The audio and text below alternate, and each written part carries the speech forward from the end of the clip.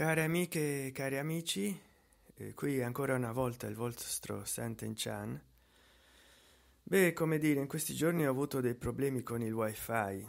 Non so se sia eh, il vicino di casa che si aggancia oppure il mio host che mi manda il segnale moscio.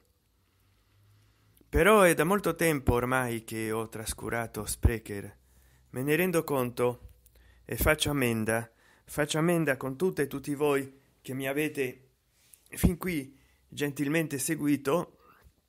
Ero arrivato a avere quasi 700 iscritti a sprecher e poi eh, naturalmente li ho persi un po. Adesso siete 600 molti dei quali neanche parlano italiano quindi mi fa piacere che mi seguite. Io vi ho trascurato perché nel frattempo ho caricato dei video musicali nel mio profilo di instagram ed ho anche scoperto già da molto tempo che si possono fare dei live col cellulare in youtube.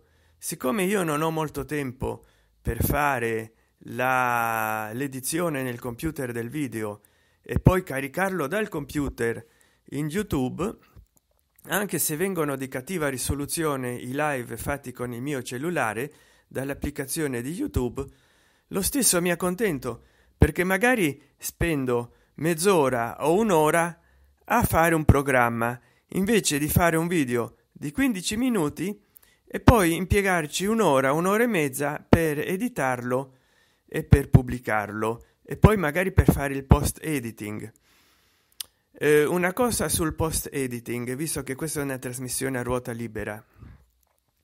Tanto so che mi seguirete in pochi dal live. Eh, spero che non si interrompa. Guardano il video. Eh, che dire è una situazione difficile.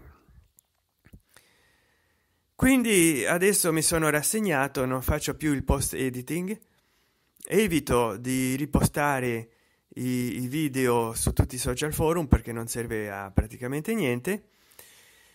E oggi mi voglio rilassare un po non voglio fare un video. Allora ho voluto riprendere a eh, praticare con eh, sprecher perché sentivo che stavo trascurando sprecher qualcosa mi mancava nella vita e visto che sprecher non ti dà del denaro anche se ti seguono in molti e hai molti ascolti allora dicevo faccio qualcosa di disinteressato.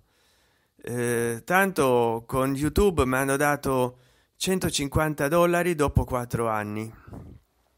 Allora cari amiche ed amici qui alle 17 circa 17 passate 17 ed 8 minuti circa eh, non so il mio cellulare magari con i minuti non va molto d'accordo. Si bisticcia. Vi sto trasmettendo che dire? Mi viene in mente la canzone dei righeira l'estate sta finendo. E veramente sì l'estate è già finita perché dovremo stare in autunno e non so voi alle 17 che state facendo. Se state portando i figli al dopo scuola se li state prendendo dal ginnasio se state viaggiando in macchina. E non lo so. Io ho iniziato le mie trasmissioni in sprecher nel lontano pensate un po voi nel lontano 2013 che avevo il cellulare samsung samsung galaxy young 5360 e mi ricordo che la mia applicazione di sprecher era la seconda. Quella arancione quella verde non ce l'ho avuto. La 2.0 credo a rigor di logica. Poi ehm, era uscita la prima eh, la prima applicazione quella nera simile a questa con meno funzioni che nel mio cellulare non funzionava. Allora eh, protestai e loro in privato mi dissero di scaricare di nuovo la vecchia versione fino a che non adattarono la nuova la terza anche ai cellulari più piccoli. Poi vabbè è successo che il mio eh, galaxy young 5360 si è rotto però si è rotto dopo che mia madre mi ha regalato l'attuale cellulare. Nel eh, l'altro me l'aveva regalato nel 2013 ed era del 2011 il cellulare. Questo me l'ha regalato per natale eh, 2015 ed è uscito nel 14 è un motorola moto X seconda generazione che per il momento mi funziona molto bene spero mi continui a funzionare molto bene anche nel tempo a venire niente ho saputo dell'incidente del tragico incidente aereo che c'è stato del povero pilota che è morto schiantandosi in mare. Non so se a anzio o a pratica di mare luoghi da me prediletti non tanto per il mare ma per come si mangia bene il pesce o si mangiava bene il pesce soprattutto anzio A me l'acqua fredda non mi è mai piaciuta. Eh, mi è sempre piaciuto andare al mare a miami luogo peraltro in cui l'acqua è così calda da essere la culla dei tornados e degli uragani. Quindi è un paradiso tropicale miami e tutta la florida ma è anche un inferno di uragani. E tutto c'è il suo pro e il suo contra beh dicevo anzio che bella anzio me la ricordo. Sono anni che ormai non vado sono più di 16 anni. E che vuoi fare? Gli impegni della vita. Andavamo a passeggiare con mia madre a anzio. E me lo ricordo. E non è vero? Come diceva sandro pertini. E non è vero? Io mi ricordo che siamo andati in gita al quirinale e era una delle tante commemorazioni che si fanno in italia che la gente soprattutto le segue per fare festa non per commemorare nulla. Allora ci ha ricevuto tutta la classe. Certo è anche vero che lui doveva ricevere molte classi in un giorno e non le poteva ricevere tutte insieme. Però eh, lui aveva questo suo modo di intercalare molto pertinesco quando io ero giovane e non è vero perché non è che faceva la domanda era un'esclamazione. E non è vero quando io ero giovane come voi e non è vero ebbene eh, erano altri tempi e mi ricordo e non è vero eh, che c'era la guerra e che mancava questo o quell'altro perché lui da giovane avrà fatto la prima guerra mondiale. Vabbè sono ricordi che vengono a ruota libera a ruota sciolta.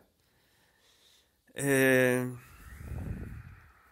a proposito eh, di rota mi viene la sacra rota e in mente il papa.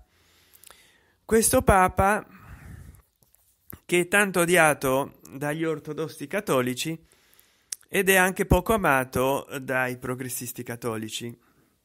In pratica eh, non è amato da nessuno. Eh, da una parte dicono che sta minando le fondamenta della chiesa.